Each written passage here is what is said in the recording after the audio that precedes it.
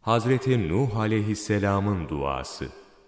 Rabbi gfir li ve li valideyye ve limen dehale beytiye mu'minen ve lil mu'minine vel mu'minat ve la tezidil zalimine illa tebara. Ey Rabbim!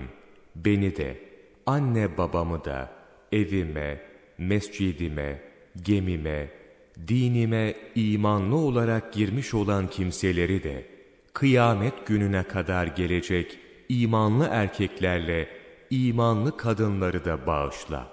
O zalimleri ise büyük bir helakten ve yıkıma uğratılmaktan başka bir şey bakımından arttırma.